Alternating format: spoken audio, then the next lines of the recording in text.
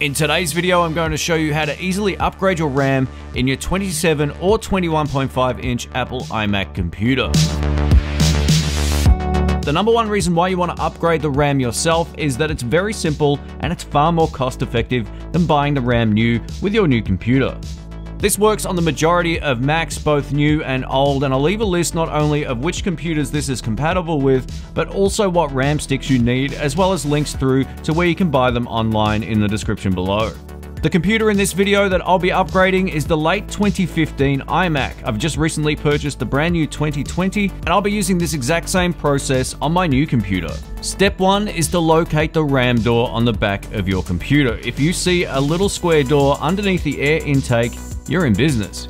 Step 2 Find a flat surface and lay down a blanket or microfiber cloth. This will help stop the screens getting damaged. Step 3 is to lay the computer down screen first. Step 4 is to remove the power cable just by pulling upwards. By using the opposite end of the power cable, you can push down on the button releasing the RAM door. Unlocking the RAM tray is very simple. Simply pull sideways on each of these two tabs. Step 5 is to align the slot on the RAM on the right hand side.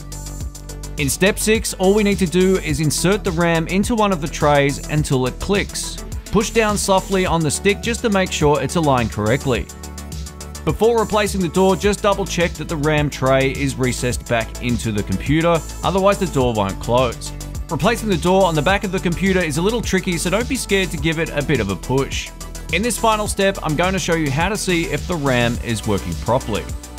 Once the computer is loaded, we can check to see if the RAM was correctly installed.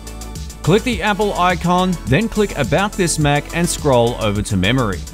As you can see, we now have 16GB of RAM installed instead of just the 8 that comes with the computer. Installing more RAM increases system performance with more demanding tasks, or even just Google Chrome.